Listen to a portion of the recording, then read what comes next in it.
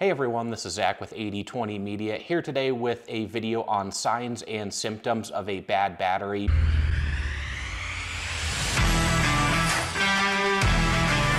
So a few weeks ago, I filmed a video on the signs and symptoms of a failing alternator and discussed in that video that a lot of the symptoms between a battery and a failing alternator are very similar. So of course now filming this battery video, it's important to note that once again that a failing alternator and a bad battery can have very similar signs and symptoms. There are a few ways to tell which is the ultimate cause of your issues and we'll circle back to that a little bit more at the end of the video.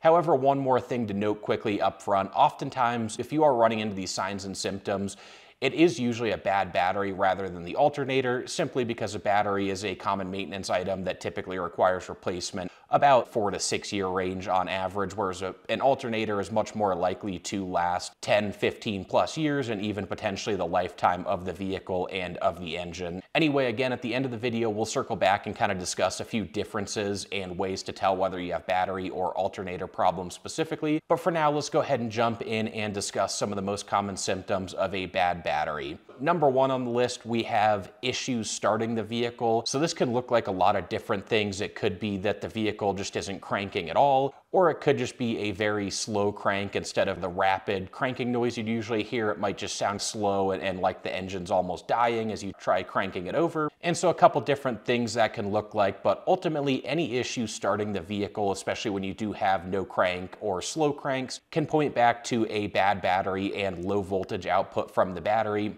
So if you're having any issues starting the vehicle, that's certainly one common cause, especially if you're able to jump start the vehicle or charge the battery overnight. If suddenly it fires up just fine the next morning or fires up instantly upon jump starting the engine, then again, that likely points to an issue with the battery. Moving into symptom number two of a bad battery, we have electrical issues. So really any kind of electrical problems with the vehicle can point back to a bad battery, especially while the engine isn't running. So you might notice that the lights aren't working, the interior lights aren't coming on, the, the headlights aren't coming on, the radio might not be working.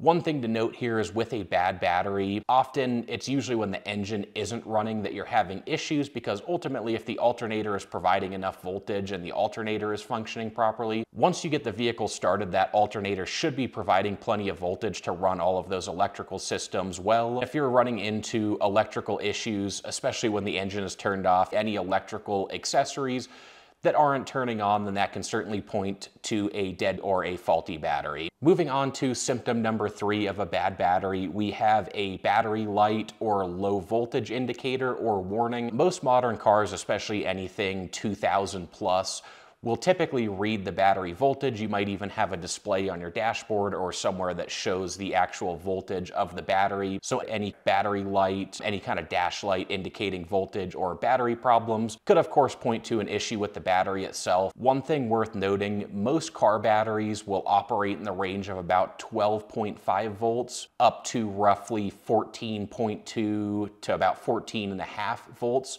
So really anything from about 12 and a half to 14 and a half volts is a pretty normal operating range for a car battery. If that voltage is getting down especially to around 12 or lower than 12, that typically points to a bad battery or a dead battery. And ultimately there could be a few causes there. It, the battery could have just lost its charge naturally if the vehicle's been sitting for a month and you haven't driven it in a long time. However, if the voltage is dropping that suddenly, say overnight, you park the car, let it sit overnight, and the next morning you notice that the voltage is 12.2 or 12, 11.8, really anything in that range or lower than that. That can certainly point to an issue suggesting the battery isn't holding a charge properly and is losing it very rapidly when the car isn't turned on and the alternator is charging the battery. So any low voltage indicates a potential issue with the battery.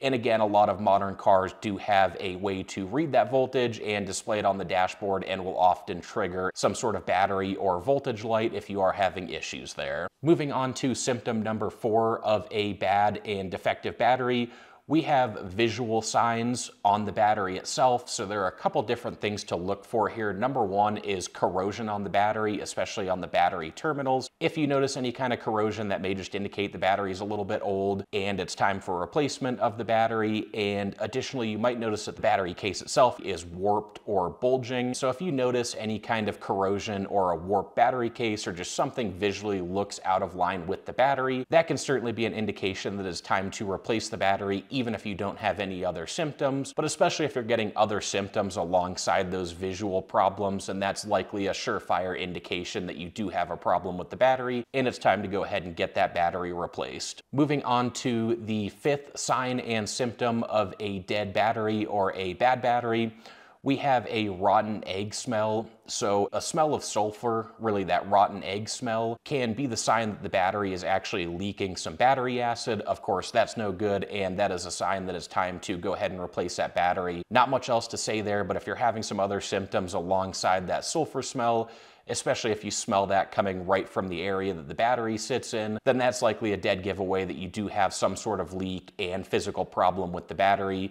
So go ahead and get that replaced as soon as possible if you do notice that there is any leaking battery acid coming from the battery. Ultimately, that wraps up the five most common signs of a bad battery or a defective car battery. So as we mentioned at the start of the video, a lot of these symptoms are pretty similar to that of what you'll notice with a failing alternator. So moving into a couple ways to distinguish and determine whether or not you have a battery issue or if it's a problem with the alternator itself. Couple key things to look for. If you do have battery problems, typically the battery won't hold a charge overnight. So let's say you jump start the vehicle, drive home, let the car sit overnight and suddenly you notice that the voltage has dropped the next morning, then that's likely a sign that you have a bad battery because it's not holding a charge properly and not holding that charge even for a short period overnight is a sign that you have a bad battery. Now, where that can get a little confusing is an alternator can drain the battery rapidly. So really the best way to test this is just letting the vehicle sit charge the battery, read the voltage, don't start the car, don't drive it, let it sit overnight and reread the voltage again in the morning or whenever, let it sit for probably about 12 to 24 hours. If the voltage drops significantly, then that's again likely a sign that you have a battery problem. However, if the battery holds the charge and you really don't lose much voltage over a 12 or 24 hour period, then that's probably a sign that it's actually your alternator because the battery is holding a charge fine, but instead the alternator while the vehicle is running isn't properly recharging the battery, which then means that's rapidly draining the battery. So that's one pretty simple way to tell whether you have a battery or an alternator issue. Number two, another simple way to tell is if you actually do have to jumpstart the vehicle to get the engine running, then if you have a bad battery, typically everything will run fine, assuming the alternator is providing proper voltage while the engine is running. Then all of your electrical systems, the headlights, any interior lights, the radio, etc., should all be working fine. The engine shouldn't stall out. Ultimately, the battery isn't that responsible for powering anything once the engine is actually running and operational. That's the alternator's job. And so on the contrary, once the engine is running, say you get it jump started and you're still having electrical issues, that's likely a sign that it's actually the alternator that isn't providing proper voltage output and so that's where you can see signs after jump starting the car. You might still notice that you have dim or flickering headlights or certain electronics aren't working like your radio or the windows or again, really any other electrical component or accessory within the vehicle. So those are the two main ways to tell and distinguish between battery and alternator issues. Anyway, that wraps up our video for today, guys. If you appreciated the video, please hit that like button, subscribe to the channel, and check out the description below for more awesome content. Thanks, everyone.